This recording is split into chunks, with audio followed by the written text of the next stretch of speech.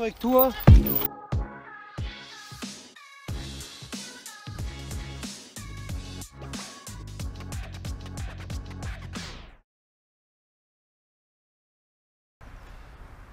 Hi liebe Leute, ich bin's wieder. Ich habe wieder eine von meinen Serien, die ich ja so ein bisschen unregelmäßig bringe, Entschuldigung dafür. Ähm, Fehlerfokus. Da wisst ihr, haben wir schon mal so gewisse Themen gehabt.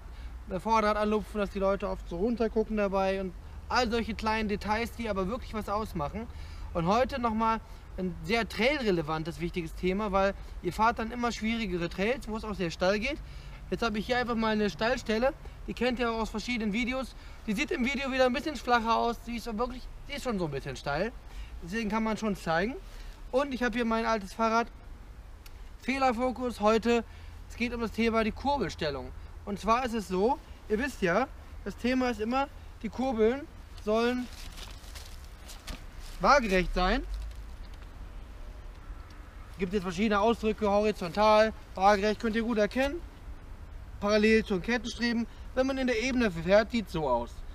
Jetzt hat man das häufig, dass Leute was Steiles runterfahren und wenn sie den rechten Fuß vorne haben, war vorher die hintere Kurbel parallel zum Hinterbau und dann fahren die runter und es bleibt so. So, und seht ihr, es ist jetzt so steil, das Rad steht jetzt wirklich steil, könnt ihr gut erkennen. Hier am, am höchsten Punkt sieht man es noch besser. Oh, ich muss gucken, dass ich hier nicht runterfalle.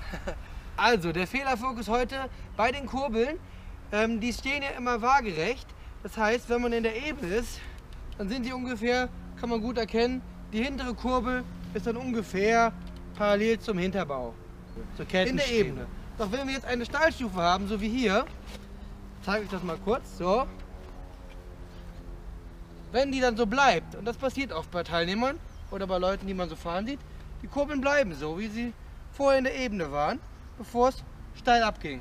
Was dann passiert, oft in Kombination, dass die Ferse nicht gut noch hängt, dass viel Gewicht auf den Lenker kommt. Weil eigentlich intuitiv müsste jetzt, wenn es so steil wird, das Rad kippt immer mehr in die Steilheit, könnt ihr hier gut erkennen, es wird immer steiler, müsste die Kurbel jetzt so stehen. Also, dann ist sie immer noch horizontal waagerecht. Und das ist ein kleines Detail, was viel ausmacht, weil wir wollen ja unser Körpergewicht auf den Füßen lassen. Ich verlinke euch nochmal das Video dazu, dass man zentral bleiben soll, Körpergewicht auf die Füße und die, das andere Video über die hängenden Fersen. Also nochmal zusammengefasst, das Problem ist, wenn die Kurbeln so bleiben, hintere Kurbel parallel zum, zur Kettenstrebe, wie sie in der Ebene waren und das Rad kippt in die Steilheit, dann kriegt man wieder Gewicht auf den Lenker, weil man nicht mehr das Körpergewicht schön zentral halten kann auf den Pedalen und am Lenker schön locker bleiben kann. Und das ist wieder ungünstig, man wird wieder mehr Passagier als Pilot. Also liebe Leute, was könnt ihr machen? Ihr könnt erstmal abfilmen, wie es bei euch aussieht. Ihr werdet sehen, bei erfahrenen Bikern ist es eh immer intuitiv, automatisch, sobald das Rad in die Steilheit kippt, der Winkel des, Rad, des gesamten Fahrrads verändert sich, sind die Kurbeln auch wieder schön waagerecht. Das passt sich von alleine an. Wenn ihr merkt, oh, bei mir bleibt die Kurbel so, wie sie in der Ebene war, auch wenn es jetzt steiler wird, und ihr kriegt Gewicht wieder auf den Lenker, dann ähm, könnt ihr folgendes machen, dass ihr euch erst nochmal in der Ebene wirklich zentriert, ähm, ganz, ganz locker den Lenker haltet, Ferse hängen lasst, merkt, euer Körpergewicht ist total auf den Füßen, dann sucht euch eine Zweiertreppe oder eine kleine Stufe, übertragt das, fahrt die langsam, macht das Step by Step und man kann auch, wenn man merkt, man hat sich schon angewöhnt, dass die Kurbeln so bleiben, kann man auch in dem Moment, wenn man das merkt, die Kurbel wieder ein bisschen höher, dass sie wieder leicht sind, waagerecht. Aber das sollte natürlich normalerweise automatisch ablaufen. Wenn man das schon als Baustelle hat, kann man mal kurz dran denken und das korrigieren. Habe ich auch häufig bei Kursteilnehmern, wo ich das dann korrigieren muss. Genau. Ich zeige also, das mal. Also es sähe dann so aus, die Kurbeln sind hier noch genau waagerecht und wenn die dann so bleiben,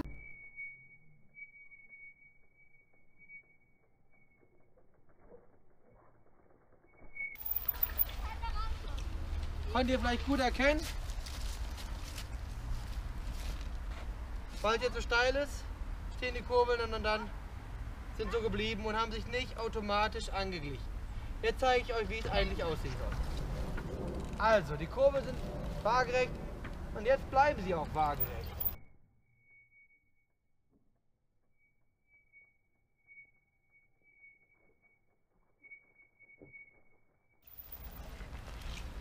Ich denke, das konntet ihr gut erkennen. Wir machen es nochmal in Nahaufnahme.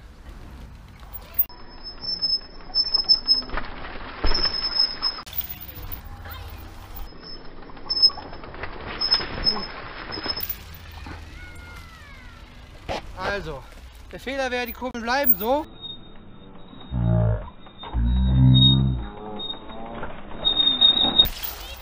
Wieder waagerecht. Liebe Leute, heute am kürzesten Tag des Jahres eine kurze Folge zum äh, Fehlerfokus. Filmt euch mal ab, guckt mal gegenseitig, wie sieht das aus in den steilen Trails, in den steilen Abfahrten. Passt das mit den Kurbeln oder merkt ihr, oh, die sind eingefroren und bleiben so, obwohl sie sich eigentlich der Steilheit anpassen müssten, um waagerecht zu bleiben. Wir sehen uns im nächsten Video. Ich wünsche euch einen, natürlich einen guten Rutsch, falls wir uns nicht mehr sehen, äh, auf Social Media. Macht's gut. Ciao.